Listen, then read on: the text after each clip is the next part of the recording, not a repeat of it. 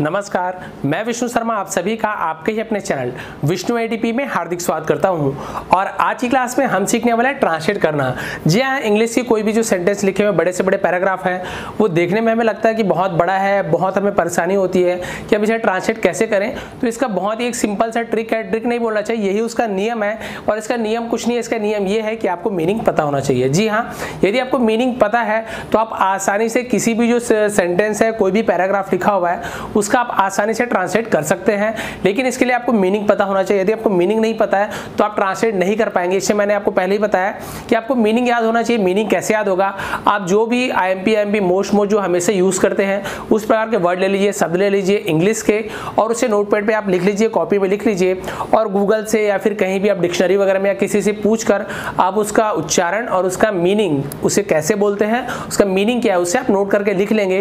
तो उससे क्या होगा? आप रोज दस, बीस भी याद करेंगे। तो महीने भर में आपका बहुत सारा मतलब मान के चलिए अब तीन, मान लो तीस है तो एक दिन में दस याद तीन सौ से ज़्यादा वर्ड्स है। आप सोचिए कितना वर्ड्स आपको याद होगा और कोई बड़ी बात नहीं है, आपको आसानी से याद हो यदि मीनिंग आपको उसका, आपको मान के चलिए, मान लीजिए उसका आपको स्पेलिंग याद नहीं होता है, लेकिन आपको ये तो पता चल जाएगा कि हाँ इसे क्या कहते हैं। मान लीजिए आपको कंट्री का स्पेलिंग याद नहीं हो रहा है, लेकिन आपको पता है कंट्री का मतलब देश होता है तो आप आसानी से इसे क्या कर सकते हैं? इंग्लिश में जो भी लिखा हुआ है, उसे आप समझ सकते हैं, उसका आप हिंदी में उच्चारण कर सकते हैं मतलब हिंदी में उसका ट्रांसलेट आप कर सकते हैं। तो यदि यह कहीं पर भी इंग्लिश में ऐसा लिखा हुआ है, आप चाहे दूसरे देश में हो, चाहे भारत में हो, कहीं भी लिखा हुआ है इंग्लिश में तो सबसे मेन क्या होता है, आपको उसे पढ़ना, पहचानना, क्या लिखा हुआ है, आप उसे पढ़ेंगे और आप समझ जाएँगे। तो इससे बड़ी उपलब्धि क्या होगी आपके लिए कि आप कोई भी इंग्लिश में लिखा हुआ जो वाक्य है सेंटेंस है या फिर कोई कोई भी पैराग्राफ लिखा हुआ है तो आप उसे आसानी से पढ़ सकते हैं।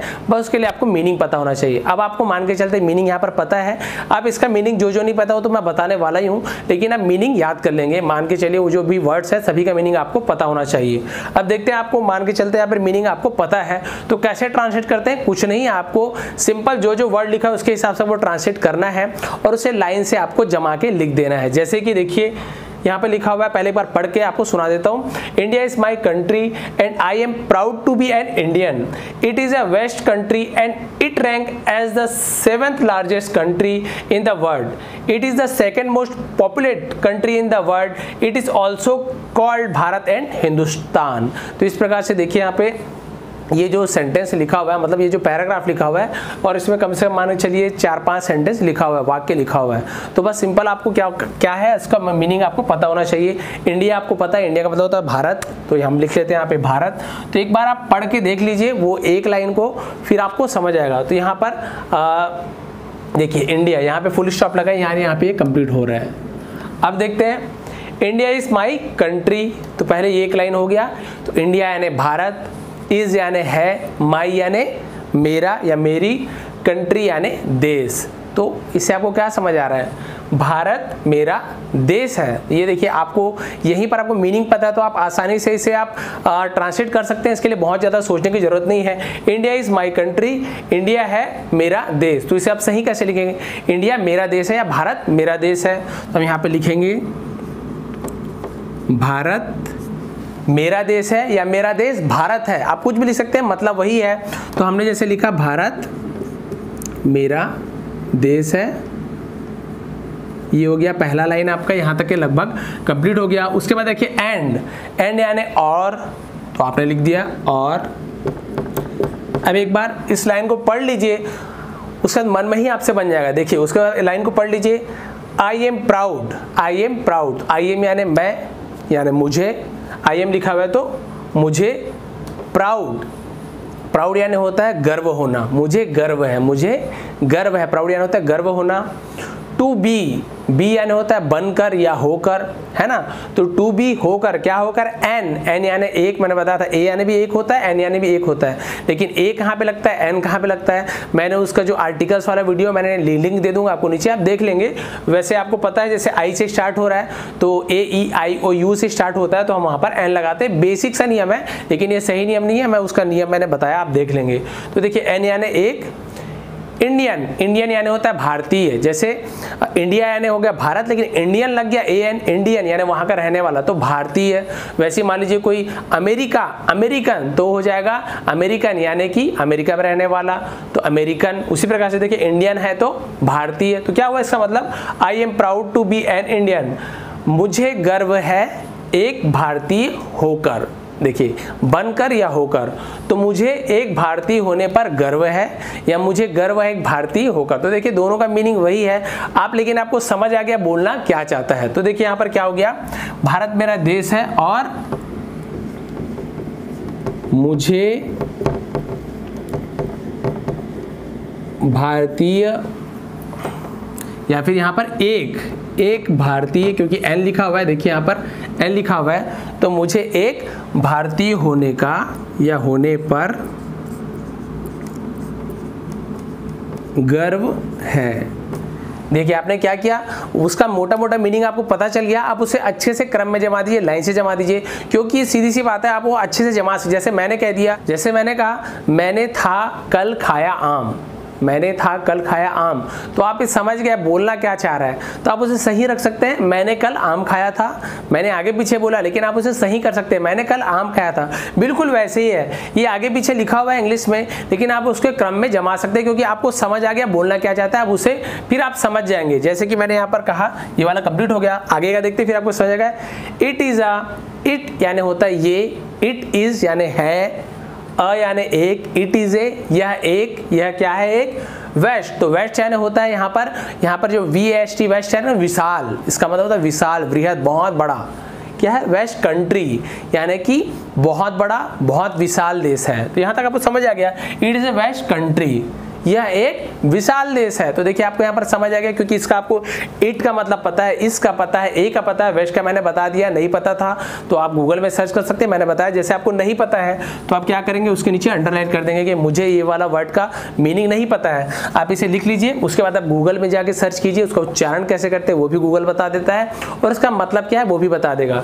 तो जैसे मैंने कहा, ये हो गया आपका वेस्ट तो ये हो गया हमने यहाँ पे लिख दिया, ये हो गया वेस्ट वैश का मतलब हो गया विशाल। तो इस प्रकार से आप क्या करेंगे? अपने कॉपी में नोट करते जाएँगे जो जो जो हार्ड जो मीनिंग है, जिसका हार्ड वर्ड जो आपको लग रहा है, आपको याद नहीं है, उसे आप नोट पैड में लिखते जाइए।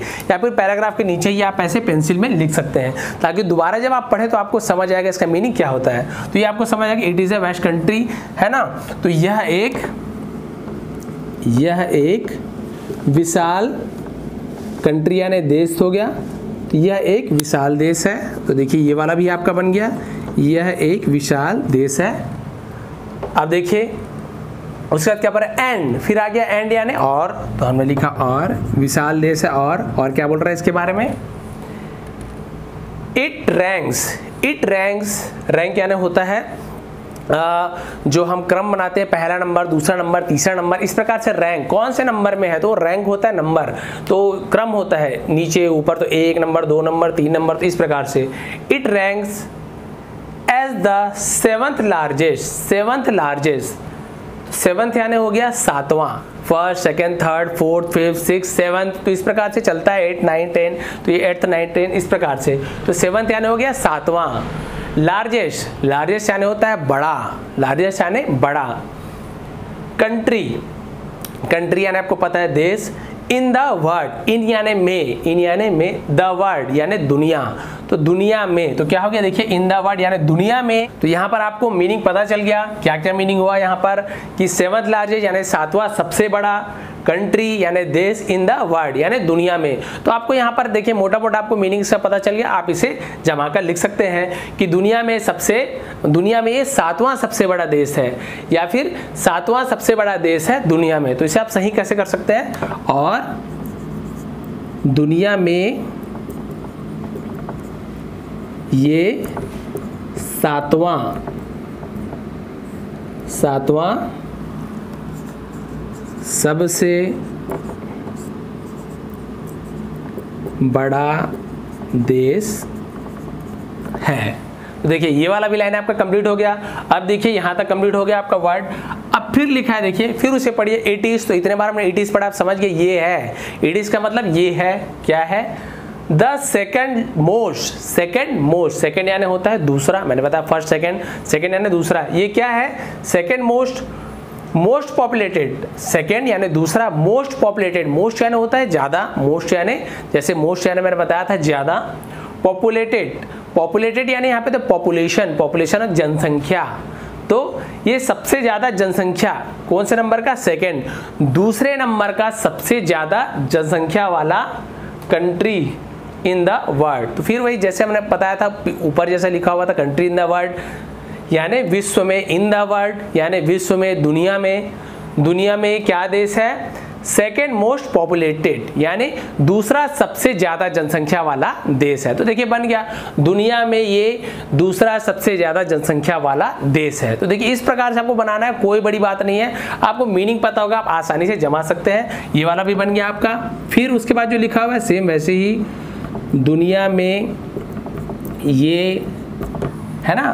तो it is a second most populated यानी दूसरा सबसे, दूसरा सेकेंड यानी दूसरा मोस्ट यानी सबसे सेकेंड यानी दूसरा मोस्ट यानी सबसे पॉपुलेटेड यानी ज़्यादा मोस्ट यानी दूसरा सबसे ज़्यादा जनसंख्या वाला पॉपुलेटेड यानी जनसंख्या वाला।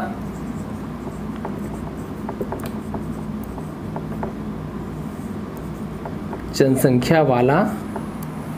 और उसके बाद लिखा हुआ है, यहाँ पे लिखा जनसंख्या वाला पॉपुलेट फिर कंट्री इन द वर्ल्ड तो इन द वर्ल्ड का हमने पहले लिख लिया, दूसरा यहाँ पर दुनिया में सबसे ज़्यादा दूसरा जनसंख्या वाला कंट्री यानी देश है। ये हो गया आपका। फिर देखिए it is also it is यानी फिर मैंने बताया इट इज़ ये या इसे।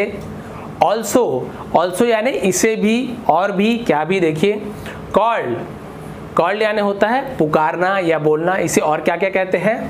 भारत एंड हिंदुस्तान। इसे भारत और हिंदुस्तान कहकर भी ऑल्सो यानी भी तो इसे भारत और हिंदुस्तान कहकर भी पुकारा जाता है। कॉल्ड यानी पुकारना या बोलना तो इसे क्या किया जाता है?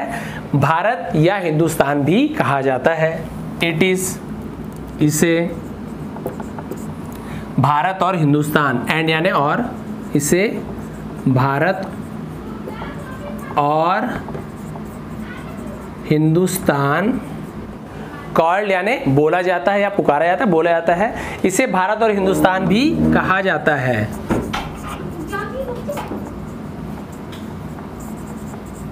तो यहाँ पर आपने देखा, हमने लिखा हुआ है इट इज़ ऑल्सो कॉल्ड यानी इसे और क्या कहा जाता है? भारत एंड हिंदुस्तान। यानी इसे भारत और हिंदुस्तान भी कहा जाता है। इसे भारत और हिंदुस्तान भी कहा जाता है। तो देखिए, ये वाला पूरा जो पैराग्राफ है, कंप्लीट हो गया। एक एक लाइन का मीनिंग तुरंत देखते हैं। तुरंत आपको समझ आएगा हाँ ये मीनिंग होगा। और आपको देखते ही समझ आएगा कि वाकई में इसका मीनिंग ये होना चाहिए। जैसे इंडिया इज़ माई कंट्री तो भारत मेरा देश है। देखिए, कंप्लीट हो गया। एंड और उसके बाद देखिए लिखा है and I am proud to be an Indian और मुझे भारतीय होने पर गर्व है। एक भारतीय होने में एन यानी एक, मुझे एक भारतीय होने पर गर्व है। प्राउड यानी गर्व होना।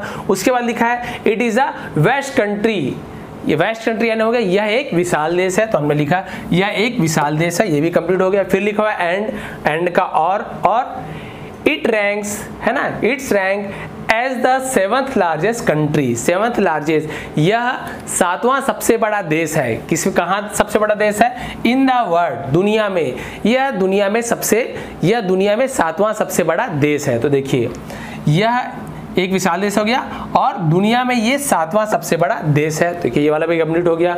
उसके बाद क्या बोल रहा है? It is the second most populated country in the world in the world दुनिया में. दुनिया में क्या है? It is the second most populated यानी दूसरा सबसे ज़्यादा जनसंख्या वाला.